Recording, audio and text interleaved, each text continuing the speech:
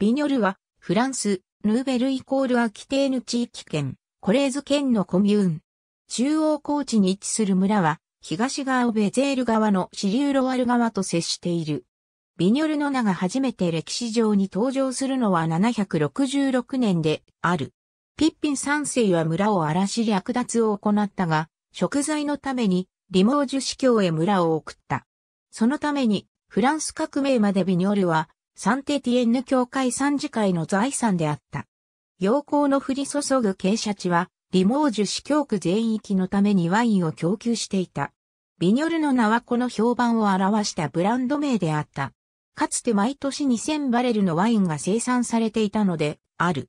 しかし、この伝統は、現在完全に消滅してしまっている。第二次世界大戦までの村の繁栄を支えていたのは、農業とスレート採石であった。スレート石は今も村の多くの屋根を覆っている。1872年にリモージブリーブ間の鉄道路線が建設されると、7カ所以上の壮大な石でできた高架橋が村にもたらされた。これは地元で取れるスレート石の輸送手段となった。1905年、秋のある一週間で数トンの切符キノコが送り出された。その後、すべての小さなコミューンがそうであったように、ビニョルは45人の戦士という戦争の重い代償を支払った。